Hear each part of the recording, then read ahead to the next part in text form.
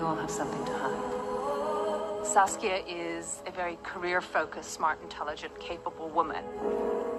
I just love how confident she is. Are there any other skeletons in the closet I should know about? Nope. She doesn't like to be put into a mold and nothing traditional. Monogamy might be the social norm, but it's not natural. Now we're getting relationship advice from the one person who's never actually had one. Monogamy is so great, then why do people cheat? The core of Secret Bridesmaids' Business is this friendship between three women. Saskia hasn't known Olivia her whole life like Melanie has.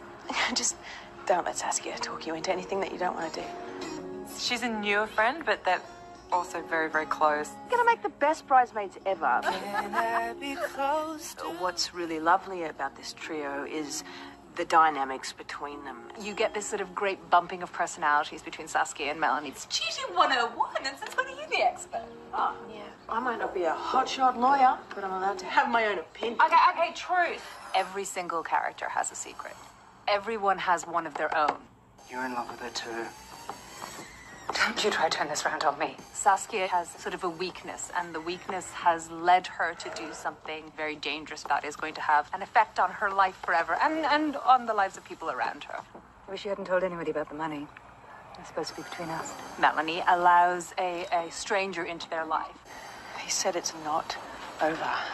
That sounds like a threat to me. And the effect that this stranger has on each of the women. No, no, he's gonna get away with this.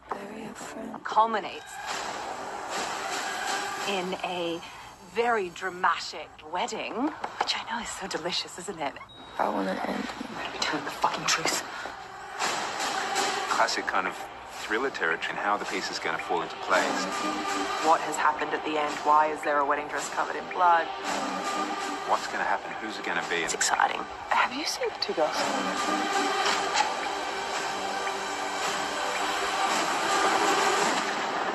I don't know what to do. When we all fall asleep.